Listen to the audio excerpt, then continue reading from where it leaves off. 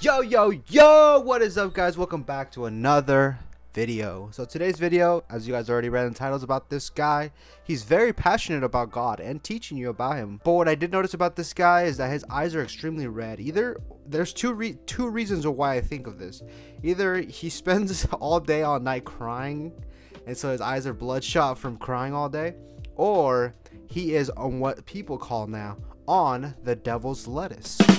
I think he's like on the devil's lettuce and he's very spiritual when he's on it, I'm guessing, because all of his videos that he talks about God so heavily and so passionately, his eyes are bloodshot red. Even in the middle of the day, I don't know, maybe he does spend all day, all night crying because nobody wants to listen to his rants about God. Poor guy. Anyways, guys, we're gonna watch some of these videos where this guy basically says if you don't tell everybody you know about God, you basically hate them. So if you haven't already done so, make sure you tell everybody you know about God or you hate them. As you can see in this first video, uh, let's go ahead and just take a look. If you don't tell people about Jesus, either you don't believe in him or you hate everyone around you.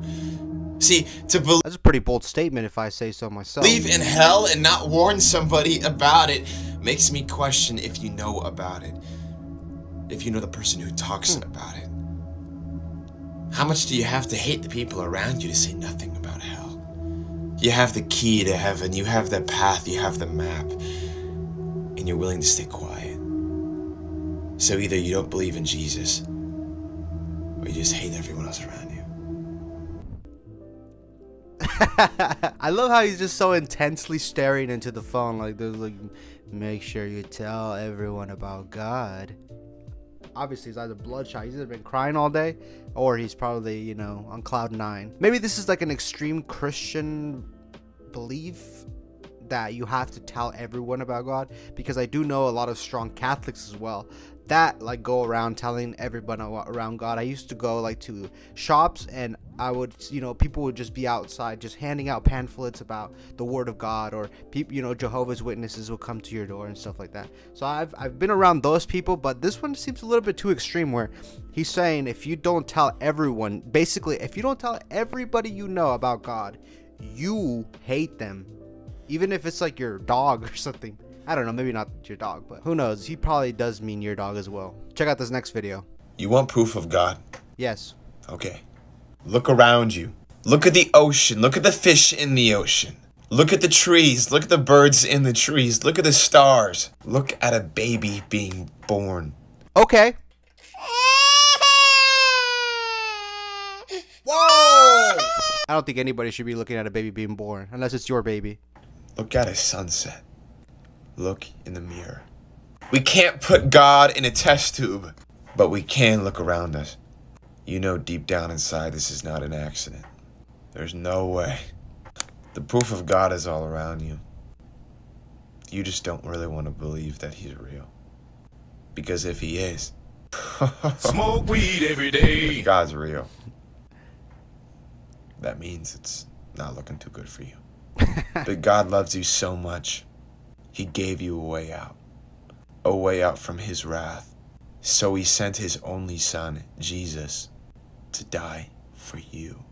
Jesus replaced you so you could be with God. This guy is high as hell. There's no way. You can't tell me that he's not high. Look at this guy. Look at him.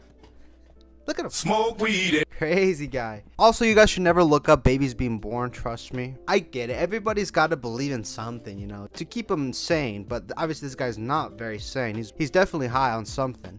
But I don't think uh, the point that he's trying to put across is coming out right because of the way he's projecting his thoughts and his beliefs. I think there's other ways to talk about God and you know spread the word and educate others. But this is definitely not the way. And if you guys know, if you guys have seen this type of videos, everybody on TikTok is like clowning on him. So this is definitely not the way to spread the word of Jesus or God.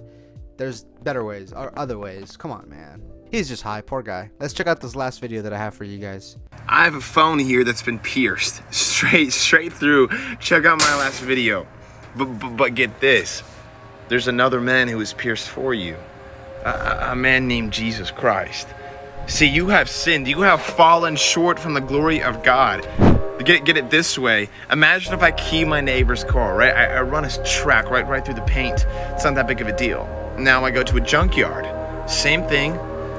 Maybe someone will catch Yes, me. Yes, it is a big of a deal. But What if I go to a Chevy dealership? Now I'm in federal trouble. Now if I go to a Ferrari dealership, I'm in even more trouble. You see where I'm going? You're in federal You trouble even if you do it to your neighbor. What are you God, talking you about? have fallen short of Jesus. You're not a good person. You're in trouble if you but key God anybody's car. was pierced for you so you wouldn't be. And now you get to spend eternity with him in heaven. Crazy. How did this guy tie keying cars and going to prison to God? I don't know. His analogies are definitely off the charts. That's, I've never heard that before. Anyways, this guy, I mean, he hasn't posted in a while. He's getting a lot of shit on TikTok about his post. Obviously, this guy doesn't maybe he doesn't understand. Maybe he's not listening back to his videos or what he's saying. But this guy cannot be 100% serious about what he's saying. And even if he is he's definitely not putting the point that he wants across.